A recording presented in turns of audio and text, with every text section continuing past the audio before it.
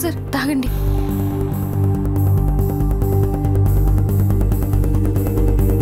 అమూల్య అట్ట నాకు ముద్దలు పెడతా ఉంటే అది చూసి ఆమంత సాన రగిలిపోయినది.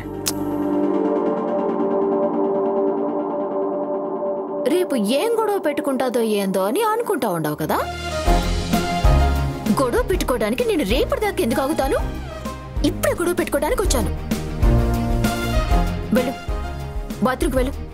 బాత్రూమ్కి ఎందుకో? ఆవిడ గారు పెట్టిన ముద్దలన్నీ లొట్టలేసుకుంటూ తిన్నావు కదా. ఆ తిన్నదంతా ఇప్పుడు కక్కాలి. ఇదిగో ఆట వాంతి చేసుకోవడం నాకు రాదు. రానప్పుడు మరి అలా ముద్దలు ఎందుకు పెట్టించుకున్నావు? అంటే నా చేతికి దెబ్బ తగిలినది కదా.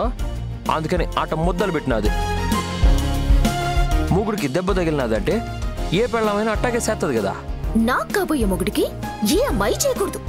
నీకు ముద్దలు పెట్టాలన్నా నేనే ముద్దలు పెట్టాలన్నా నేనే. నన్ను పెళ్ళి చేసుకున్నా పెళ్ళి చేసుకోకపోయినా నువ్వే నా మొగుడువని నేను ఫిక్స్ అయిపోయాను.